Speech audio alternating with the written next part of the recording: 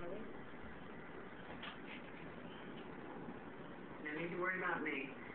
How are you holding up? I'm looking forward to the end of the mission. It has been many years since I felt I could relax anywhere.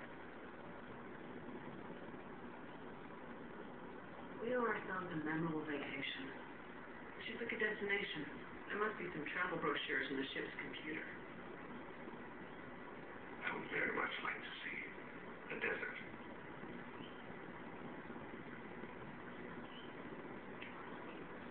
Nice.